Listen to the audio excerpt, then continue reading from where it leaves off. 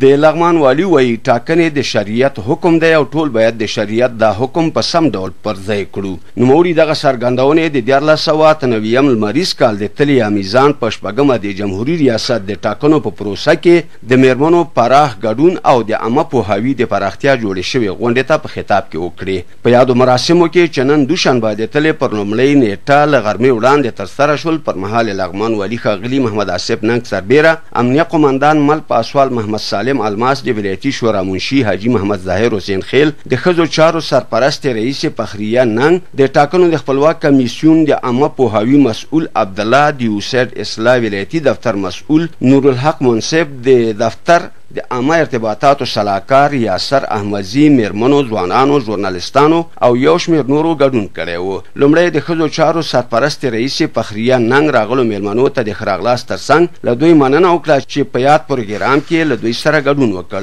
نوموړې په ټاکنو کې د ښځو د پراخ ګډون په ارزښت هراړخیزې خبرې وکړې، زیاته یې کړه، په ټاکنو کې د مېرمنو او نارینه وو ګډون یو شان ارزښت لري. هغې مېرمنې وهڅولې تر څو د دیارلس سوه اته نوي م لمریز کال د تلې یا میزان په شپږمه د جمهوري ریاست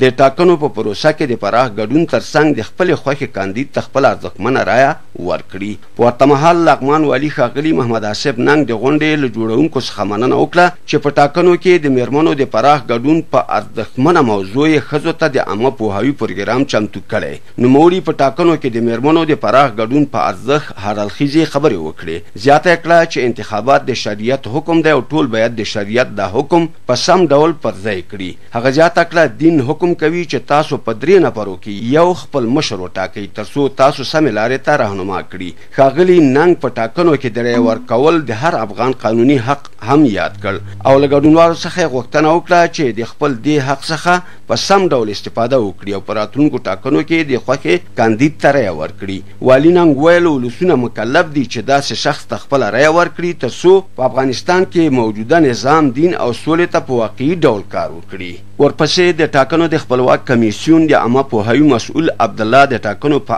ارزښت، د ټاکنو د خپلواک کمېسیون په رامنځته کېدو، د انتخاباتو په ډولونو، د انتخاباتو په مراحلو، د رایه ورکوونکو په شرایطو او په ګڼو نورو برخو کې د غونډې ګډونوالو ته هر اړخیزه معلومات ورکړل. نوموړي ټولو ولسونو ته ډاډ ورکړ چې د دیارلس سوه اته نوي لمریز کال ټاکنې به په شفاف او بې طرفه ډول ترسره شي او د رایه ورکوونکو د هرې رایې څخه به په کلکه دفاع وکړي. بلخوا د ولایتي شورا منشي حاجي ظاهر حسین خېل، په ټاکنو کې د مېرمنو د ګډون په ارزښت هر اړخیزې خبرې وکړې. زیاته یې کړه، د افغانستان اساسي قانون هر افغان ته د رایې ورکولو حق ورکړی. نوموړي زیاته کړه، د افغانستان په ټولو قضایاو کې مېرمنو په پراخ ډول کړی او د خپلو حقوقو غوښتنه یې په قانوني ډول ترسره کړې ده. حسین خېل له ټولو مېرمنو څخه غوښتنه وکړه چې د دیارلس سوه اته نوېم لمریز کال په ټاکنو کې په پراخ ډول ګډون وکړي او د خپلې خوښې کاندید ته رایه ورکړي. د غونډې په وروستۍ برخه کې ملک عبدالرؤف هم په انتخاباتو کې د ښځو د پراخ ګډون په ارزښت تفصیلي خبرې وکړې.